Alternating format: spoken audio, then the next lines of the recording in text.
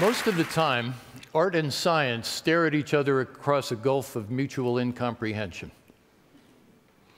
There's great confusion when the two look at each other. Art, of course, looks at the world through the psyche, the emotions, the unconscious at times, and of course the aesthetic. Science tends to look at the world through the rational, the quantitative, things that can be measured and described. But it gives art a terrific context of understanding. And in the Extreme Ice Survey, we're dedicated to bringing those two parts of human understanding together, to merging the art and science to the end of helping us understand nature and humanity's relationship with nature better.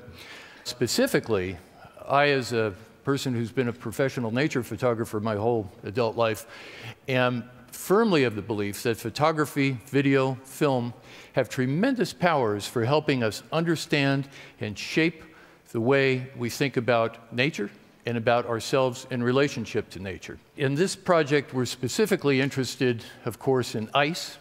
I'm fascinated by the beauty of it, the mutability of it, the malleability of it, and the fabulous shapes in which it can carve itself. These first images are from Greenland. But ice has another meaning. Ice is the canary in the global coal mine. It's the place where we can see and touch and hear and feel climate change in action. Climate change is a really abstract thing in most of the world. It's whether or not you believe in it is based on your sense of, you know, is it raining more? Is it raining less? Is it getting hotter? Is it getting colder? You know, what do the computers models say about this, that, and the other thing? all of that, strip it away. In the world of the Arctic and alpine environments where the ice is, it's real and it's present. The changes are happening, they're very visible, they're photographable, they're measurable. 95% of the glaciers in the world are retreating or shrinking. That's outside Antarctica. 95% of the glaciers in the world are retreating or shrinking, and that's because the precipitation patterns and the temperature patterns are changing. There is no significant scientific dispute about that. It's been observed, it's measured, it's bomb-proof information. And the great irony and tragedy of our time is that a lot of the general public thinks that science is still arguing about that. Science is not arguing about that. In these images, we see ice from enormous glaciers, ice sheets that are hundreds of thousands of years old, breaking up into chunks and chunk by chunk by chunk, iceberg by iceberg, turning into global sea level rise.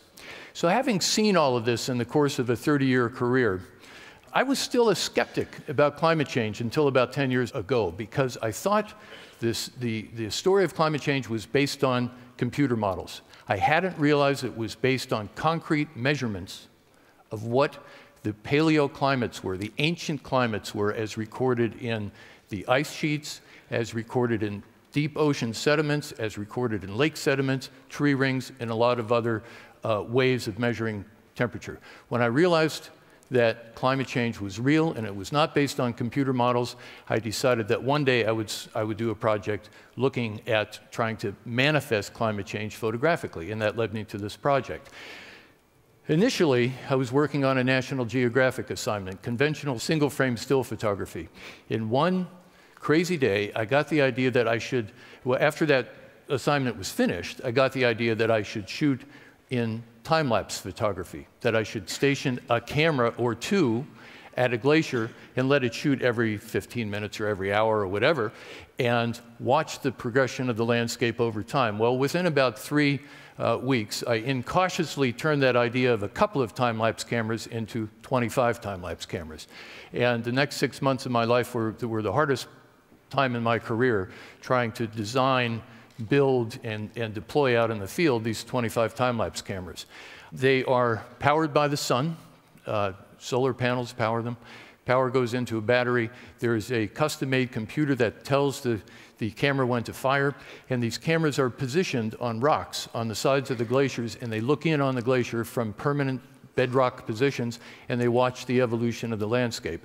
We just had a number of uh, cameras out on the Greenland ice sheet. We actually drilled holes into the ice way deep down below the, uh, the thawing level and had some cameras out there for the past month and a half or so. Actually, there's still a camera out there right now. In any case, the cameras shoot roughly every hour. Some of them shoot every half hour, every 15 minutes, every five minutes. Here's a time lapse of one of the time lapse units being made.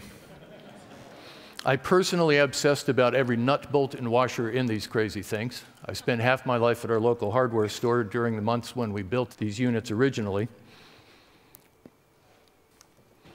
We're working in most of the major glaciated regions of the northern hemisphere.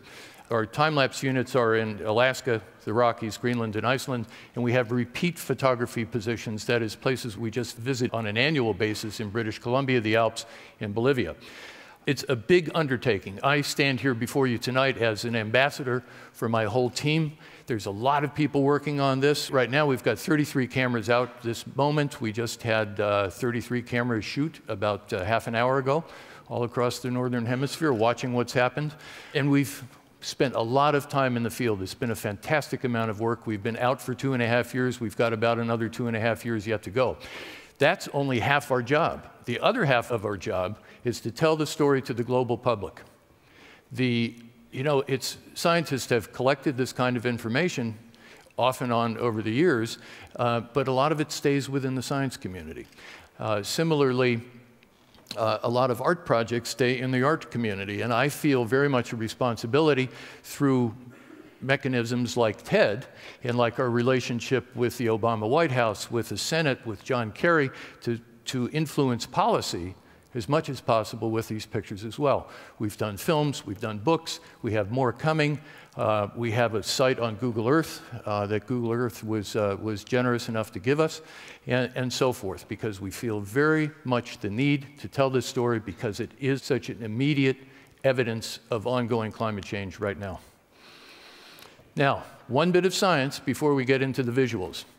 If everybody in the developed world understood this graph and emblazoned it on the inside of their foreheads, there would be no further societal argument about climate change because this is the story that counts. Everything else you hear is just propaganda and confusion. Key issues. This is a 400,000 year record. This exact same pattern is seen going back now almost a million years before our current time. And several things are important. Number one, temperature and carbon dioxide in the atmosphere go up and down basically in sync. You can see that from the orange line and the blue line. Nature naturally has allowed carbon dioxide to go up to 280 parts per million. That's the natural cycle. Goes up to 280 and then drops for various reasons that aren't important to discuss right here. But 280 is the peak. Right now, if you look at the top right part of that graph, we're at 385 parts per million. We are way, way outside the normal natural variability. Earth is having a fever. In the past 100 years, the temperature of the Earth has gone up uh, 1.3 degrees Fahrenheit, 0.75 degrees Celsius. And it's going to keep going up because we keep dumping fossil fuels into the atmosphere at the rate of about two and a half parts per million per year. It's been a remorseless, steady increase. We have to turn that around. That's the crux.